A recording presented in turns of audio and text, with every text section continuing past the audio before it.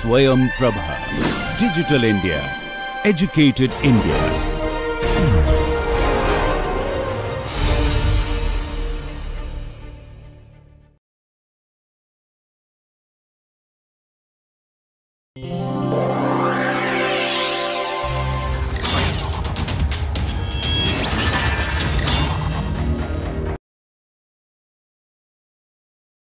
we had looked at uh, all the air breathing systems. Now, let us take a look at what are the non air breathing systems. Okay.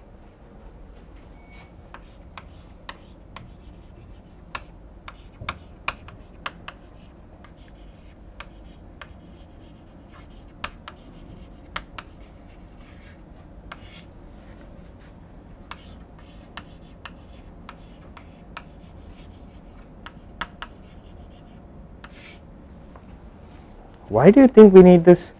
I thought uh, we had covered a large Mach number range with the air breathing system itself. Why do we think, why do you think we need the non air breathing system? Okay, that is one part of the reason. Yes.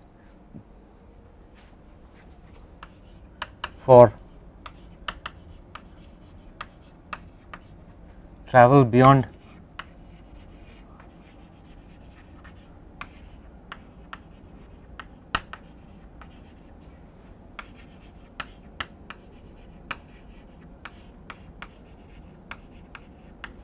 sensible atmosphere.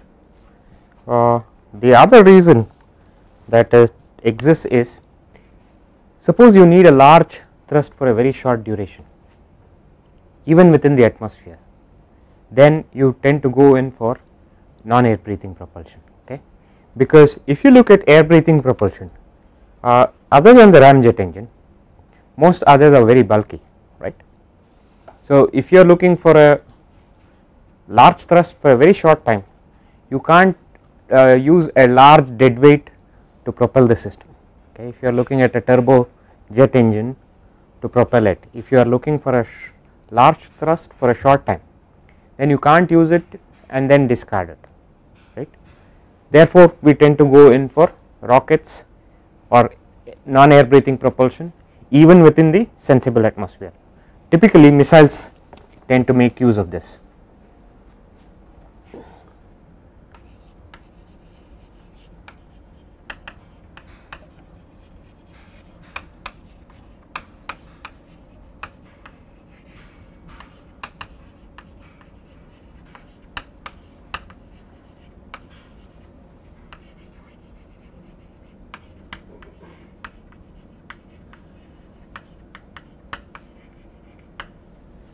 Remember I said uh, any of the ramjet engines are not self starting and they need to be taken to a, the Mach number range beyond 1 for them to be operational.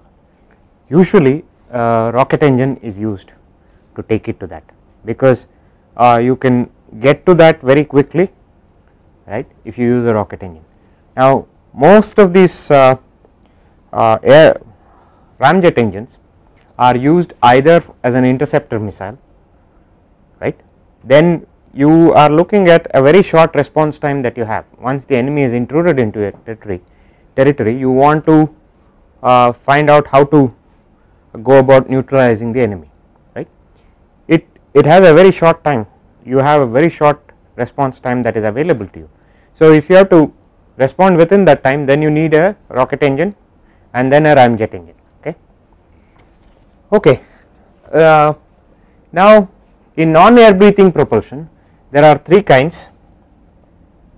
One is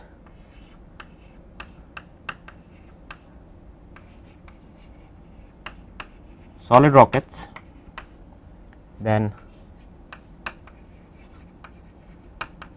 the other is liquid rockets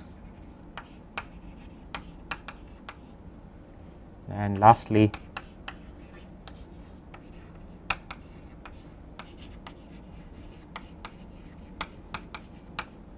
hybrid rockets. The classification is done based on the physical state of the fuel and oxidizer. Remember in a non air breathing propulsion system you need to carry your, the oxidizer on board right See, so in this case the oxidizer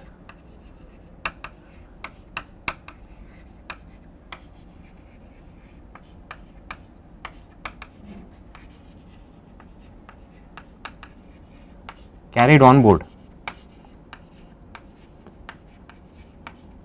Okay. So, in this case fuel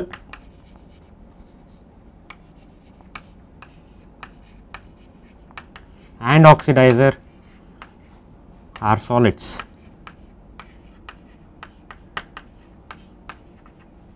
And here fuel and oxidizer are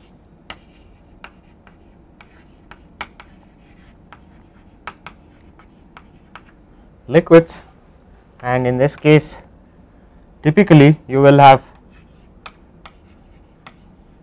as solid and oxidizer as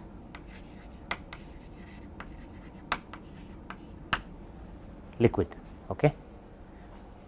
Now, just to look at how these systems developed over a period of time. Remember we uh, started our discussions with firstly uh, fixed wing uh, design, how uh, fixed wing design came about and how it took us 100 years after that to uh, develop the first flight. So, similarly let us look at how these things have evolved over a period of time. Now, uh, most of you must have played with these Diwali rockets. These Diwali rockets use something known as uh, gunpowder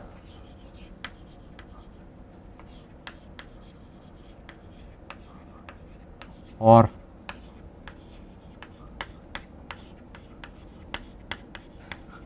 saltpeter. Now, this was discovered by the Chinese around the 11th or the 12th century. So,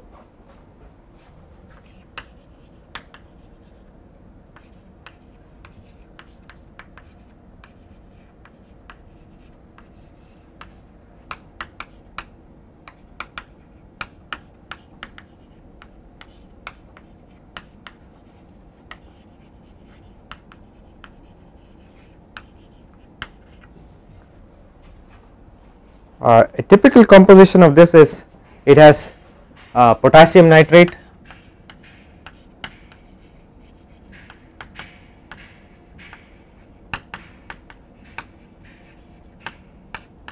around 75 percent then sulfur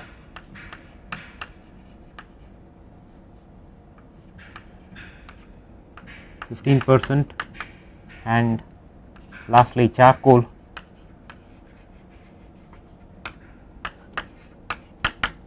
ten percent. Okay. This is a typical composition of a uh, gunpowder and this was discovered in the 11th and 12th century. After that uh, they have been used as explosives, but their first use or first uh, known military use as so as to speak uh, as rockets was somewhere in the 1700s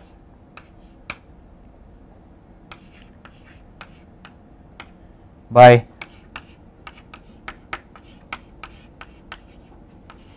Tipu Sultan of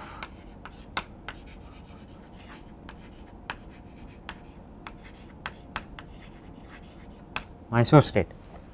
Uh, he used it against the British in the third war between the British and the Tipu Sultan. So, these were uh, you know he had uh, fairly decent systems.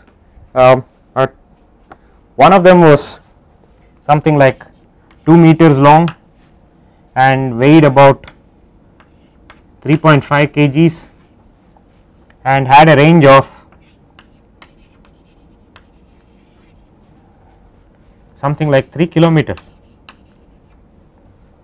Okay, he had another system which was of a shorter range of uh, 2 kgs and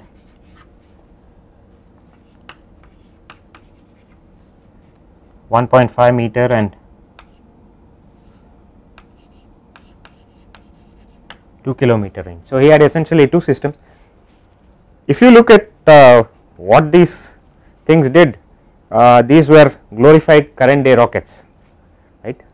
Uh, but if you look back at a time when these were not known to people okay?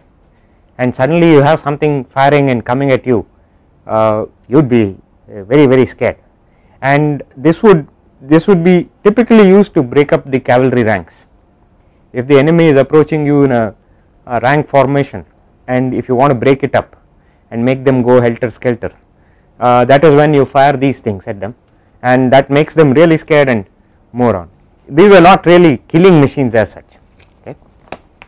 Now after the british uh, won the uh, final war of uh, Mysore around 1799 uh, they actually took all these things to Britain.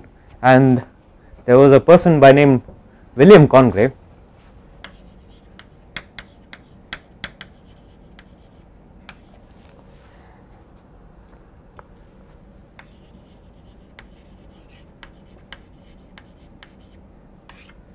he developed these systems further.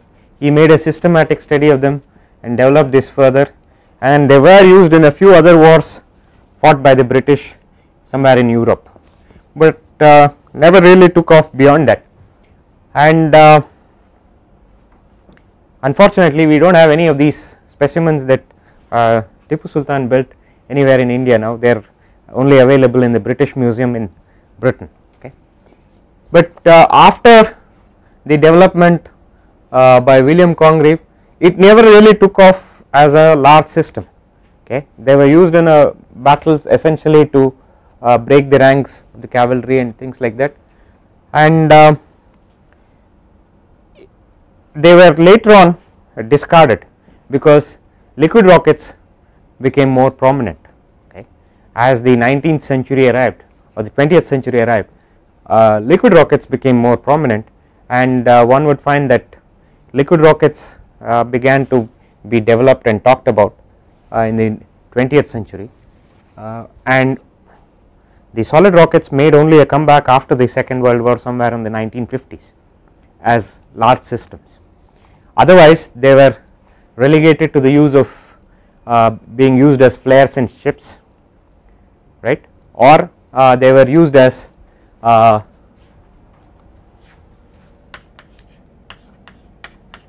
used for jet assisted takeoff.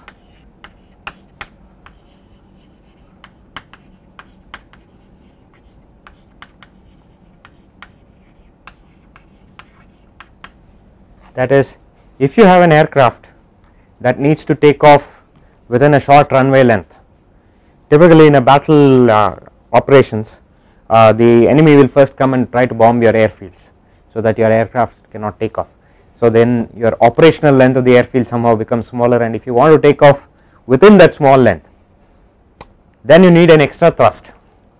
That probably the afterburner uh, might not also be able to provide. In such cases you use these solid rockets and you can drop them. As soon as you take off you can drop them. So you do not need to carry them. So they are essentially used for uh, flares on ships or jet assisted takeoff. Okay and only in the 1950s they started getting developed into large systems okay. Now let us look at what this solid rocket looks like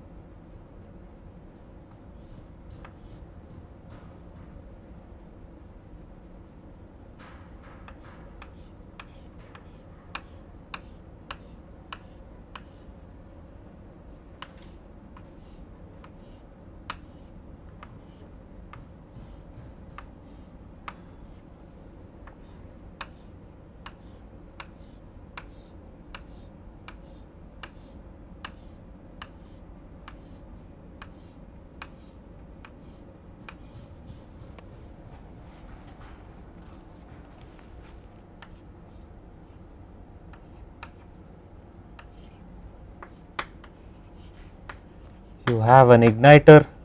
This is known as the head end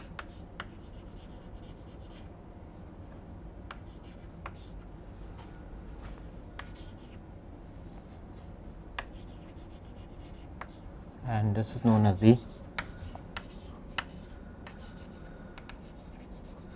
nozzle end. And you have a convergent divergent nozzle here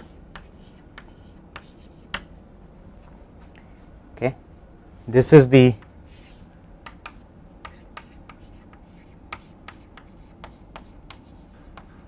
solid propellant. And uh, this is known as port. Okay. And you have a layer of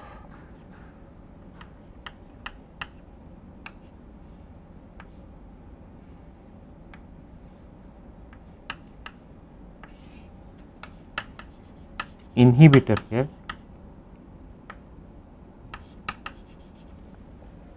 okay.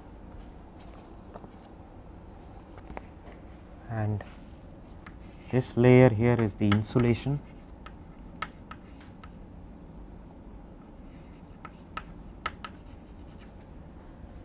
And this is the motor casing.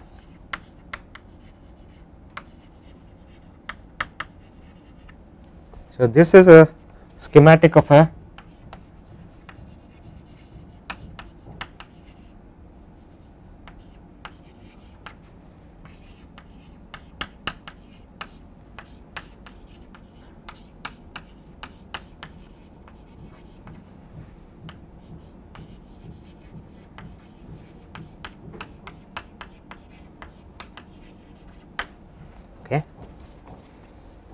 it has an igniter propellant grain that is the solid propellant grain and it has a port wherein the uh, propellant burns and the gases fill up this place.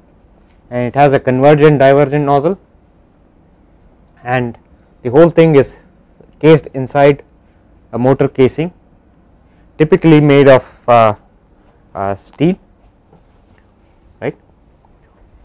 Or uh, other material uh, metals of late people are planning uh, are trying to use uh, FRPs or fiber reinforced plastics here just to save weight and uh, you have a layer of insulation here. What does an insulation do? Insulation prevents heat from being transferred or inhibits transfer of heat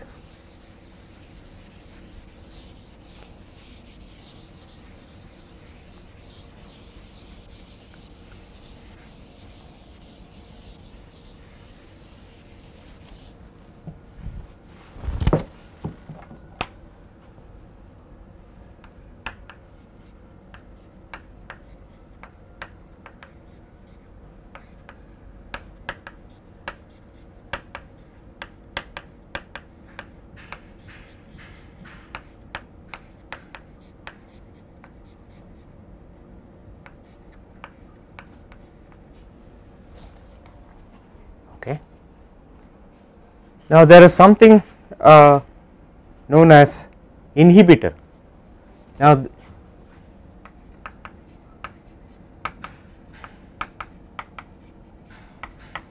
what this inhibitor does is although there are high temperature gases here all through this it prevents the burning from taking place in this direction okay it does not allow burning to take place in that direction that is the role of a inhibitor.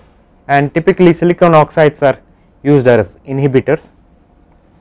And uh, the igniter is typically a solid propellant itself with a slightly higher loading of metal. We will discuss that when we discuss about solid propellants in a little more detail as we go along. And you have a heat sensitive material here. As soon as you apply some voltage across the two terminals this catches fire and as this burns the hot gases and metals fall on the propellant and the propellant gets ignited. Remember a solid propellant has both fuel and oxidizer.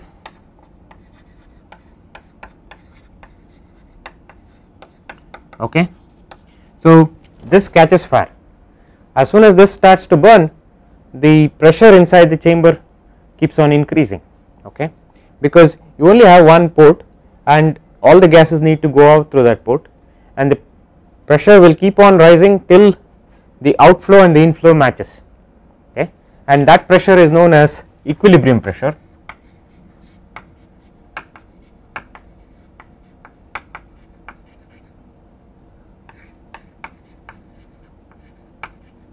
That is if you take a pressure versus time graph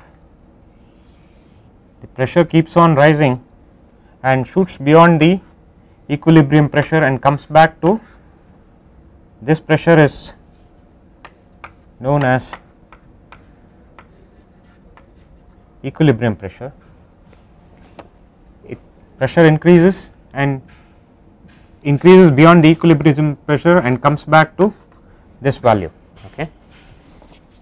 So then this high pressure high temperature gases okay that are formed here. Typically the pressures can be of the range of uh, 30 to 120 bar in the combustion chamber here. And uh, temperatures can be in the range of 2600 to 3600 Kelvin. So, this high temperature high pressure gases are then expanded through a convergent divergent nozzle. Why are we using a convergent divergent nozzle here? Why not a convergent nozzle? Because if you look at it the pressure upstream of it is very large and you have a large pressure ratio between the ambient and the pressure here. So, you can expand it through a convergent divergent nozzle and that is why we use a convergent divergent nozzle in any of the rocket motors. Okay. So, if you look at a TS diagram for this how will it look like? If you were to sketch a TS diagram for the processes in it will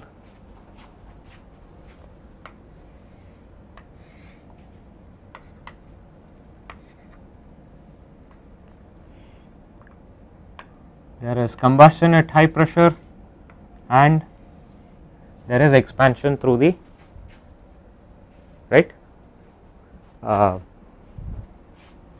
through the nozzle. It is a self pressurized system because of burning the system pressurizes itself it does not need any compressor and the high pressure high temperature gases expand through the nozzle thus producing the required moment. Uh, now, let us look at how to derive the thrust equation for this. Okay. Remember we derived the thrust equation for a air breathing system, let us do the same for this non air breathing system.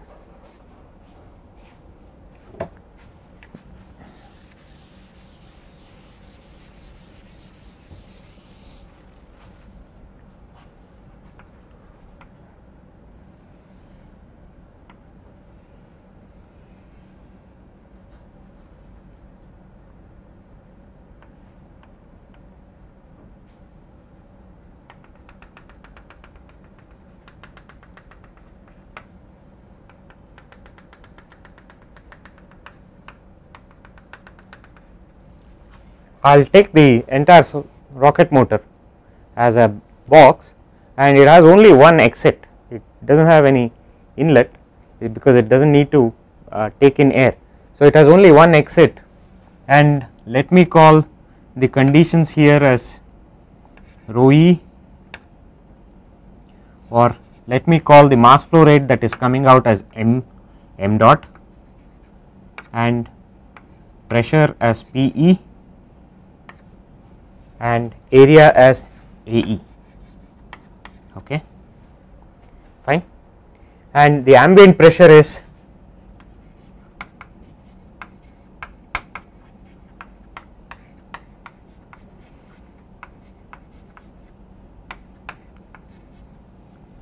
okay? Now with this you will you will find that if we were to find the sum of the forces in the x direction that is the negative x direction there is thrust acting in this direction okay. Thrust must be equal to force must be equal to rate of change of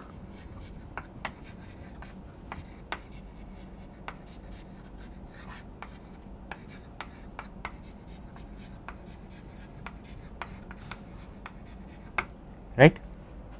I did not uh, put one more quantity that is the exhaust velocity V e. Okay. Now, force must be equal to rate of change of momentum right. What is the rate of change of momentum here? Firstly, let us look at what is the forces F minus A e P e minus P a right there is a pressure differential across this P e minus P a and this area is A e.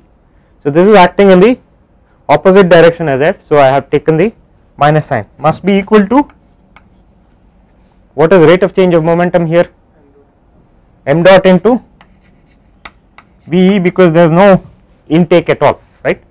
So, you have therefore, f is equal to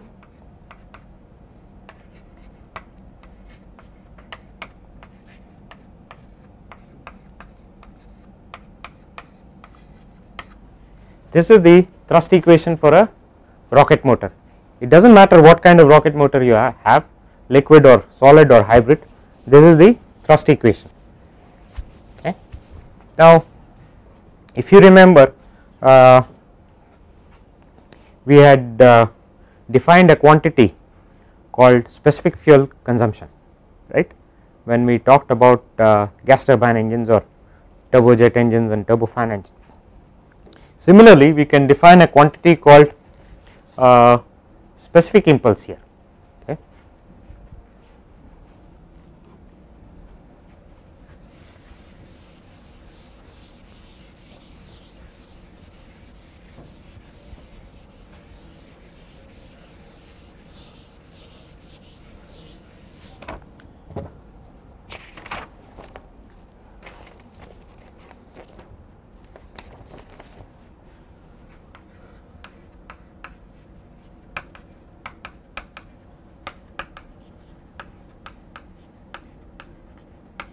What is impulse? Impulse is force into time, right. So, specific impulse is force into time divided by mass. Okay. So, if you look at the expression it is f by m dot that is it is nothing but force per unit mass flow rate.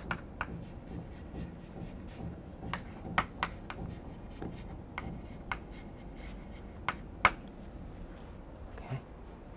And the units of this is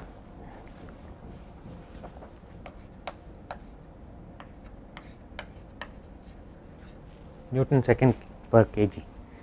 This is uh, the uh, ISP and SFC is ISP is nothing but 1 by SFC. If you remember SFC was nothing but mass flow rate per unit thrust, mass flow rate of fuel per unit thrust. In this case it is the combined mass flow rate of fuel plus oxidizer. This includes mass flow rate of fuel plus mass flow rate of oxidizer whereas SFC is nothing but m dot f by f okay?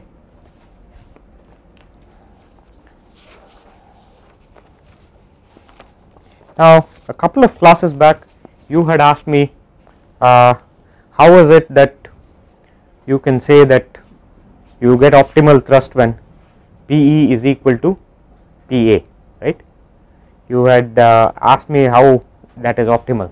Now, let us take the case when PE is equal to PA. right.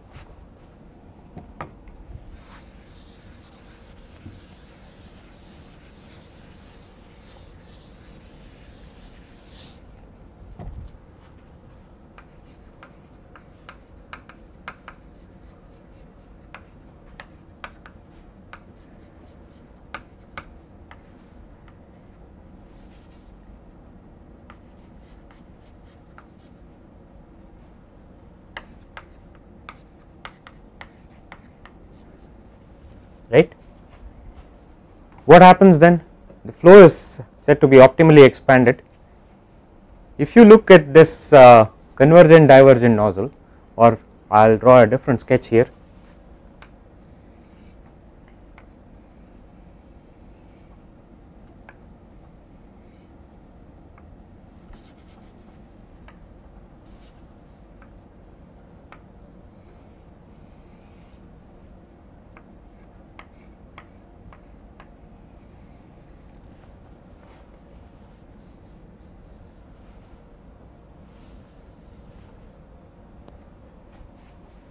Okay.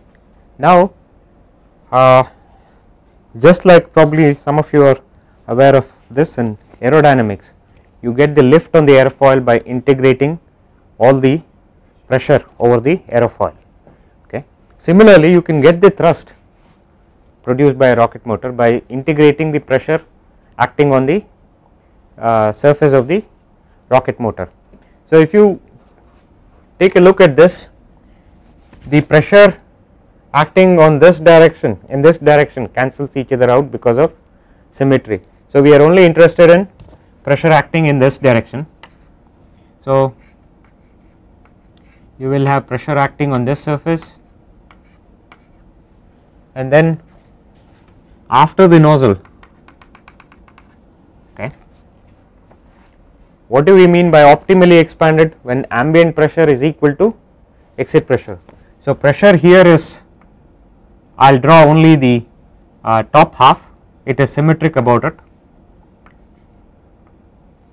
Pressure goes on decreasing as you go from the convergent portion to the exit right? Pressure in decreases and velocity increases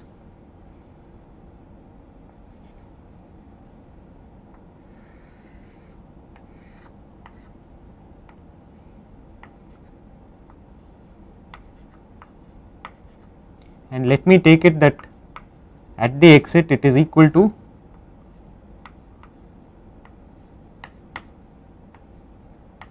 the ambient pressure.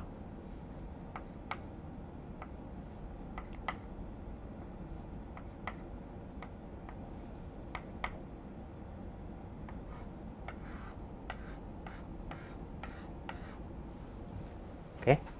The ambient pressure is a constant right. Now, this is the nozzle when it is optimally expanded.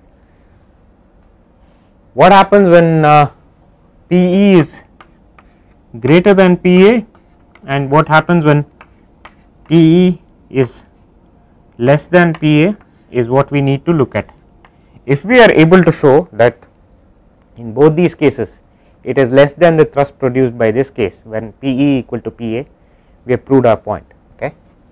Now let us take a look at uh, when PE is greater than PA. How does that happen? If I cut off a portion of the nozzle here, right. If I were to cut off a portion of the nozzle, remove a portion of the nozzle, then the pressure here is greater than the ambient pressure, right. But what have I done? I have cut off a portion. If you look at this, the pressure on the inside is greater than the pressure on the outside. So, there is a net force in this direction which you can resolve in these two perpendicular directions. Now, this force cancels each other out because of symmetry and you get only this right. So, if I removed a portion here in order to make PE greater than PA, I am taking out essentially a portion that was producing thrust which means the thrust is going to be smaller than what it was when PE equal to PA. Now, let us consider the other case when PE is less than PA.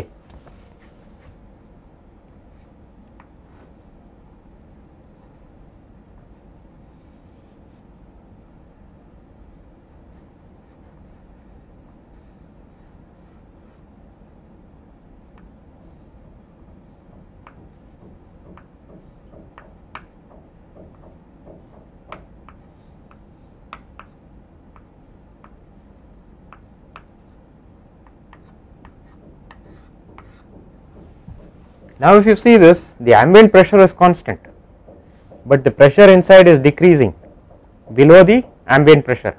When that happens which side is the net force acting on?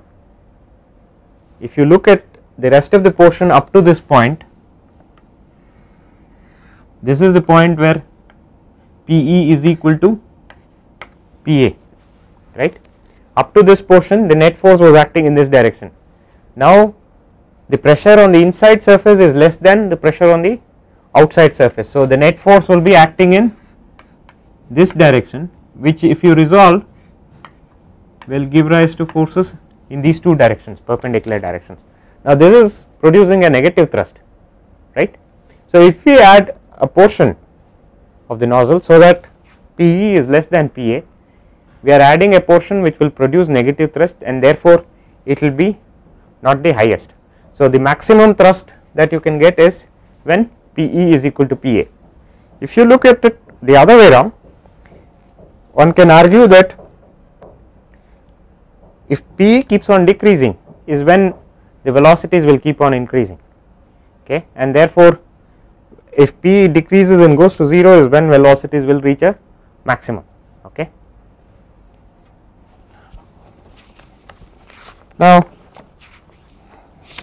let us look at what are the yes.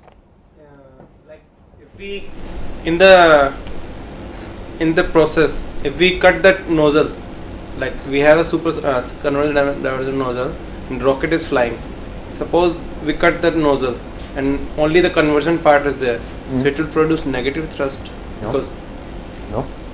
You are forgetting something here.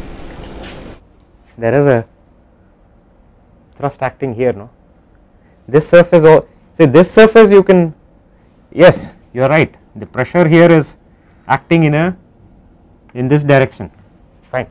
But this area is there is a small area wherein it is acting in this direction. Right? This this direction will be greater than what is on this direction. Most of the thrust come in the uh, rocket most of the thrust come from the front part if you integrate the pressures yes. If you integrate the pressures that is. If you cut off the nozzle here yes the conversion portion if you look at it from that perspective is producing only a negative thrust and a component of it is what you are looking at. But there is a throat right? And there is a portion in this direction. And remember always the throat pressure is much less than the chamber pressure. So therefore you will get a positive thrust even if you have just a convergent nozzle. Okay, now having looked at uh, how to get the thrust and what is ISP, let us look at what are all the different kinds of uh, solid propellant uh, that are available to us or that are currently being used.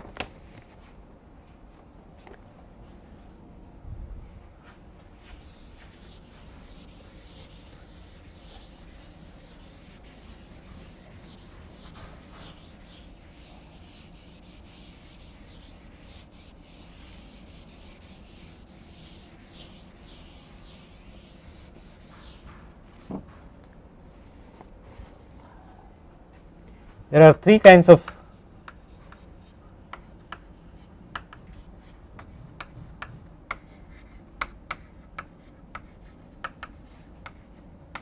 solid propellants.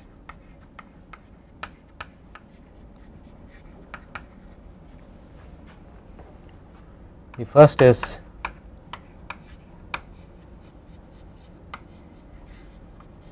homogeneous or double base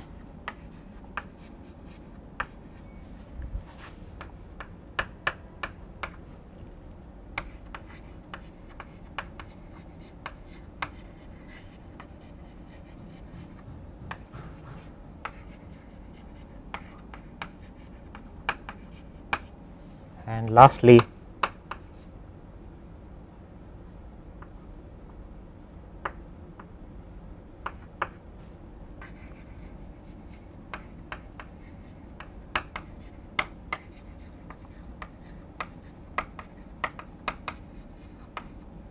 composite modified double base.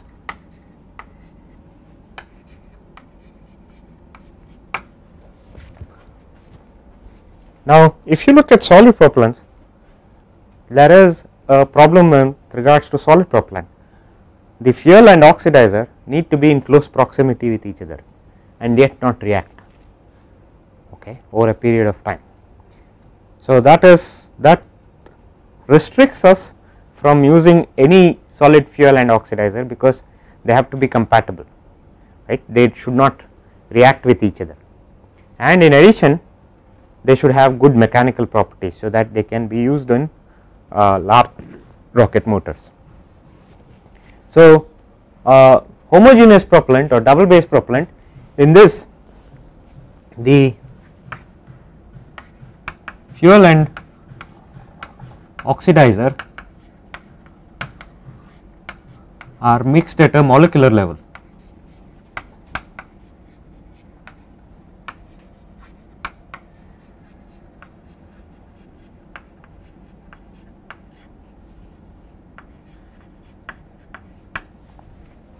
That is even if you take a small portion of it you will not be able to make out which is fuel which is oxidizer if you take a double base propellant.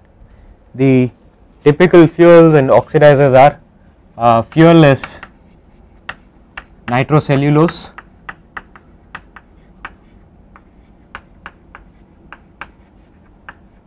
and oxidizer is nitroglycerin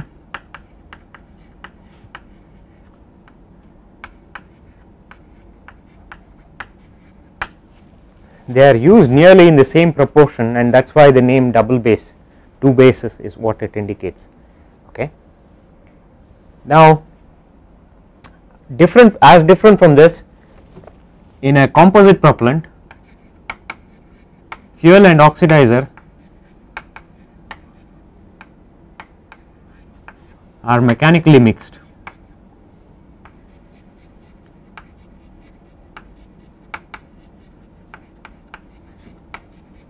That is if you take a small portion of the propellant you will be able to identify what is a fuel and what is a oxidizer.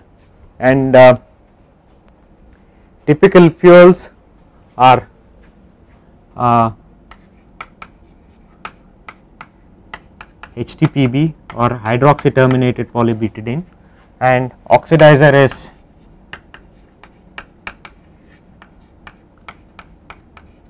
ammonium perchlorate. And we also add aluminum in these propellants which is essentially a fuel. We will discuss this in a great detail a little later in the course.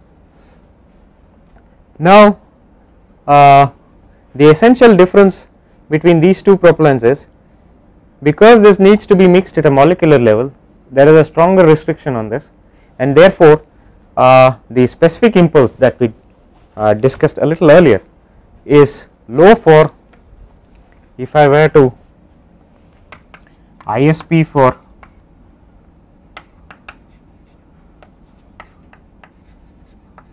double base is lower than ISP for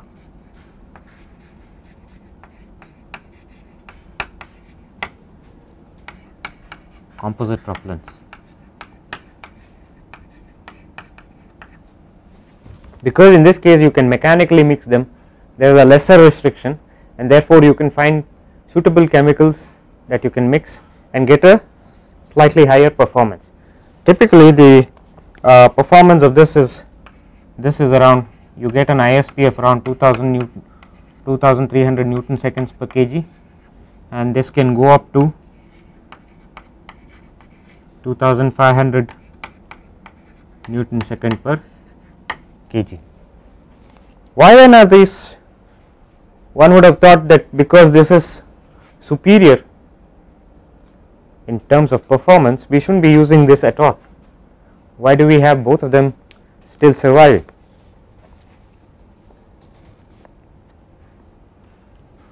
One of the reasons is if you look at uh, in a military application essentially uh, what happens is if you take a composite propellant the composite propellant has aluminum if you see here and this aluminum oxide uh, produces a strong thermal signature and in addition the ammonium perchlorate that we are using has as the, in the exhaust products uh, HCl which reacts with water in the atmosphere and also gives a strong exhaust signature.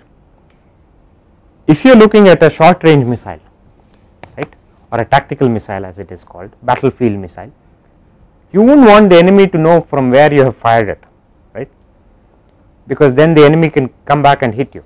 So, which is why you would not want to use these propellants for short range missiles or tactical missiles. So, for short range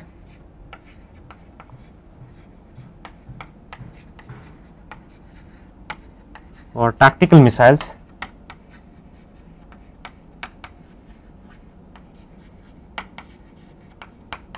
you end up using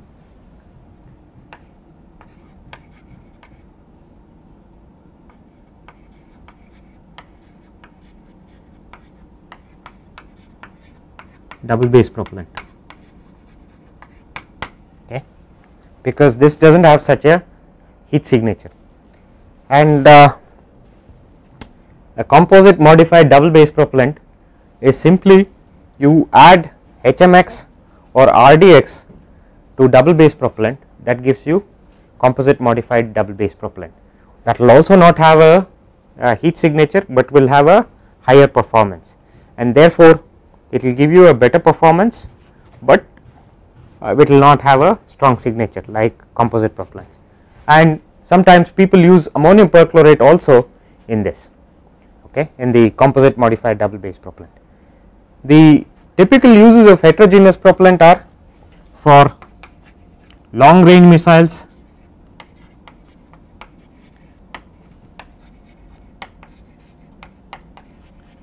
and launch vehicles.